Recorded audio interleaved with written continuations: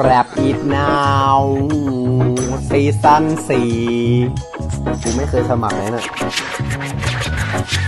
Rap Is Now season สี่แล้วผมก็แรปอยู่ตรงนี้ ผมเริ่มหิวบะหมี่ Rap Is Now เป็นรายการของประเทศไทยที่ผมมาสมัคร เพราะว่าผมนะสนใจ ผมไม่รู้ทำไงไม่รู้จะแต่ง rhyme ด่าใคร ผมทำผมทำด้วยหัวใจ แล้วผมก็แรปไป มันอาจจะไม่ฟังแรปมันอยู่ตรงนี้มันอาจจะดูไม่ดัง เฮ้ยหลุดอะไรไปบ้างแต่ผมก็ยังแรปต่อ ผมแรปไปเรื่อยแล้วผมก็ทำเก๊กรอ ผมแค่ขี้มูกขึ้นมา แต่ผมไม่ได้เอาใส่ปาก แล้วผมก็แรปมันอยู่ตรงนี้ ผมไม่ได้มีคำหยาบ อยากจะทำมันต่อไป ใจผมไม่ฟอผมทำต่อไป ใจผมไม่รอ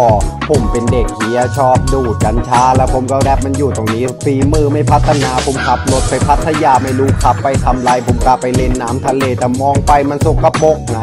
เฮ้ยทำไมมีคำว่าสกปรกแต่ผมก็ไม่ได้คิดละมกแค่อยากจะทำมันต่อเฮ้ย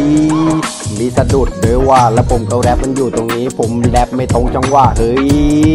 มองอะไรมองอะไรกูอะมองอะไรกูไม่สมประกอบหรือไง โคตรเกลียนเลยสัตว์